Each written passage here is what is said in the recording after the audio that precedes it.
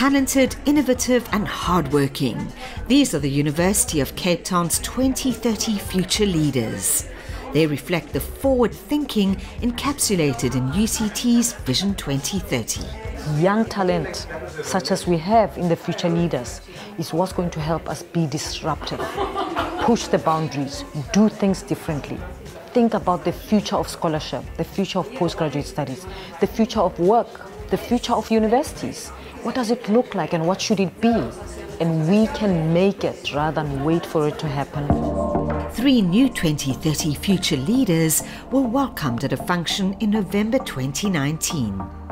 My research focuses on socially engaged art, so I look at artists who have often been outside of the mainstream um, and whose artworks have gone beyond the accepted conventions.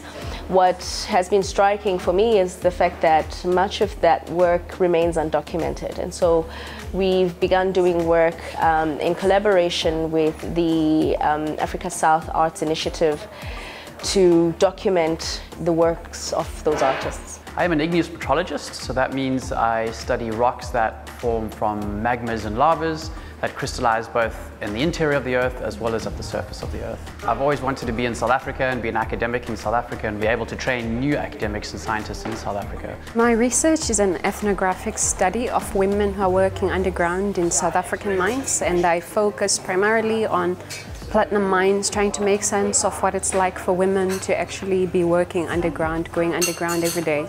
So that's the one part of it, making sense of that. But the bigger question is around how women understand themselves in these kinds of spaces. Some of the 2030 future leaders outline programs to support postgraduate students at UCT. You're going to see these women over the next couple of years as being the newest thing in oceanography in South Africa, hopefully. Dr. Katia Altieri spoke about the Advancing Women Fellowship Program in Oceanography.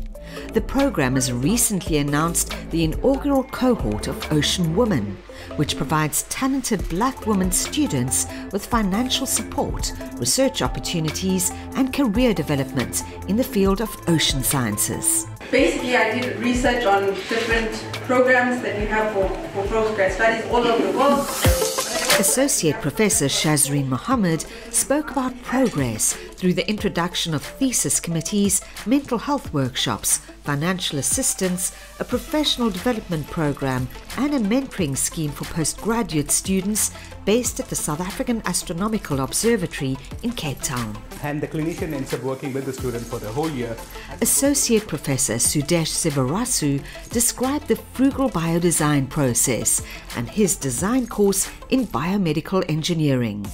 It's aimed at developing appropriate medical devices such as prosthetics suited for South Africa and developing countries. It's hoped that the optimism and energy of the 2030 future leaders will inspire and motivate postgraduate students and emerging researchers.